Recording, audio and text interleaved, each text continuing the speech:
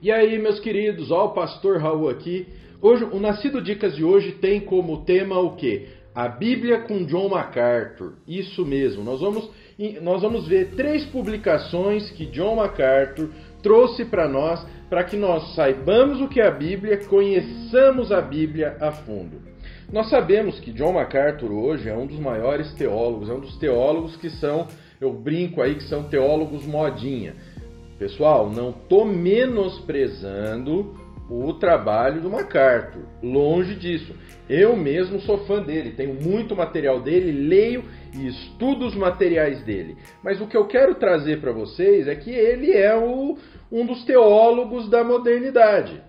Como nós tínhamos Sproul, como nós tínhamos tantos outros teólogos, pessoas conhecidas e famosas, o MacArthur, digamos que é o que está mais em evidência. Então, por isso, eu escolhi três publicações dele que vão nos ensinar por que crer na Bíblia, como estudar a Bíblia e um auxílio do que nós vemos na Bíblia. Basicamente é isso.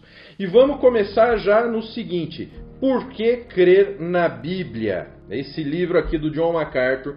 Os, as três publicações que eu vou trazer são da editora Thomas Nelson, que está trazendo muito material bom do MacArthur para a gente. MacArthur, C.S. Lewis, a Thomas Nelson está trazendo material de extrema qualidade. Esse livro aqui ele toca um pouco numa ferida, porque ele fala da autoridade e confiabilidade da palavra de Deus. Então, por que crer na Bíblia? Por que nós devemos crer na Bíblia? O que, que acontece? A Bíblia, pessoal, é o livro sagrado do cristianismo. Todo o cristianismo ele está embasado no que está escrito na Bíblia. É a Bíblia que nos diz a história de Cristo, o plano de Deus para a salvação do homem, a criação do homem. Tudo está onde? Na Bíblia. O problema é que nós temos o liberalismo teológico que ele veio e, de, e colocou a seguinte questão: se, se eu não puder tirar a prova através da razão, não me interessa. Então não é. Então eles cortam e dizem que a Bíblia não é a palavra de Deus, mas que ela contém a palavra de Deus e que apenas algumas partes são a palavra de Deus. Nesse livro, Por que Crer na Bíblia, o MacArthur nos dá assim um raio-x. E não é um livro grosso, ó, é um livro fino, de 221 páginas apenas, um livro pequenininho que você vai ler assim, você não vai nem sentir a leitura, mas ele coloca aspectos da Sagrada Escritura que refutam essas ideias. As ideias de que a Bíblia não é a palavra de Deus, de que a Bíblia não é o principal, de que a Bíblia apenas contém a palavra de Deus. Esse livro aqui é um roteiro do porquê você deve o quê? Acreditar na Sagrada Escritura. Por que você deve pôr a Sagrada Escritura como centro da palavra, porque ela é e não contém a palavra de Deus. Então a primeira indicação é para vocês é Por que crer na Bíblia do John MacArthur, editado pela editora Thomas Nelson, nossos queridos Paulão Pitbull, beijão para você, tá? Aqui ó, primeira indicação do Nascido Dicas de hoje. O segundo livro ele já vai abordar um outro aspecto. O segundo livro que eu vou apresentar do John MacArthur é o livro Como Estudar a Bíblia, tá? Esse livro aqui, ele monta um roteiro para você. Como estudar a Bíblia. É um livro de 140 páginas, é menor ainda do que o anterior, e ele vai trazer para você o quê? Um roteiro de como estudar a Bíblia da maneira correta. Ele te traz um roteiro básico.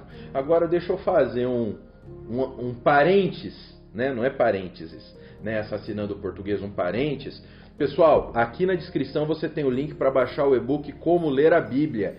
É um livro justamente para te ajudar a estudar a Bíblia, como esse livro aqui, tá? Gratuito, você tem o link aqui, clica aqui, baixa o e-book, entra com o teu e-mail, você vai receber o link, você baixa o e-book. Ele não é tão completo como esse livro, mas ele vai te dar conhecimentos fenomenais, como dizia o Giovanni Prota, de como fazer tua devocional.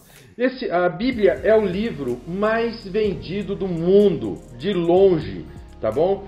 E o que, mas o que, que acontece? Poucas pessoas sabem estudar a Bíblia da maneira correta.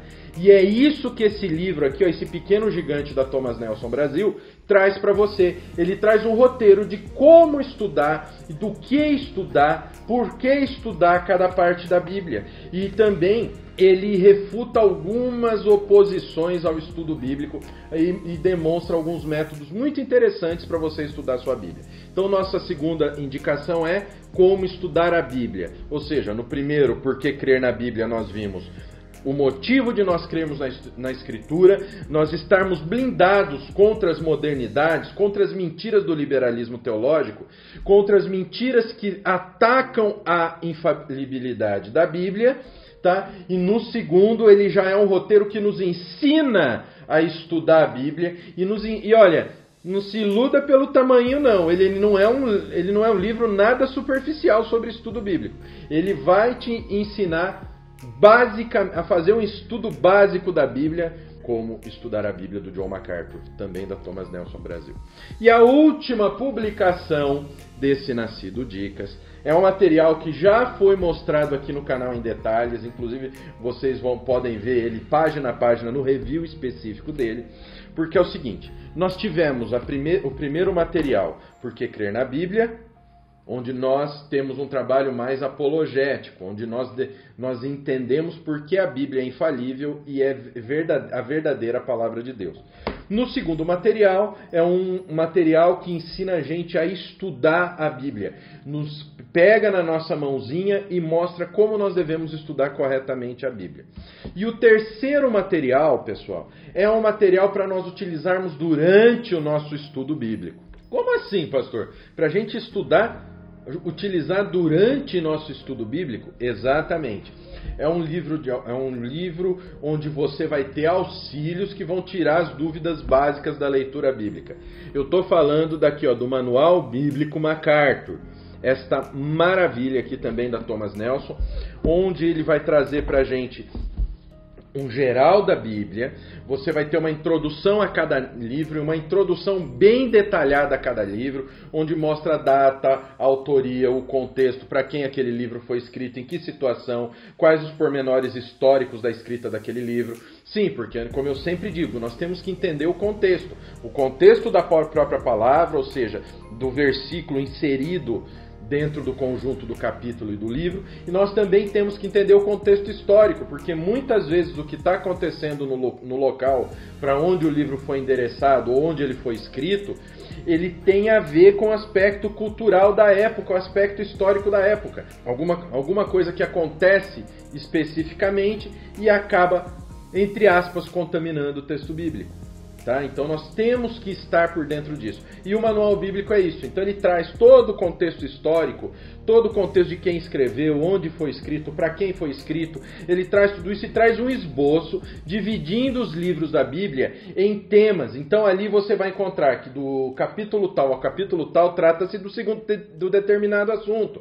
Depois capítulo tal ao capítulo tal, versículo tal, outro assunto. Então é esta maravilha aqui, o manual bíblico MacArthur que vai te ajudar muito a ter esse contexto bíblico, a ter essa esse pormenor bíblico, entendeu? É esse aqui, ó, o Manual Bíblico MacArthur. Então é isso, pessoal. Essas foram as indicações. Esse foi o nosso Nascido Dicas do mês. Então nós temos por que crer na Bíblia, porque nós podemos acreditar que a Bíblia é a palavra de Deus, como estudar a Bíblia, um roteiro que pega na sua mãozinha e te ensina a estudar a Bíblia da maneira correta, e o Manual Bíblico MacArthur, que vai te ajudar a entender todos os aspectos, todos os pormenores daquilo que você está lendo.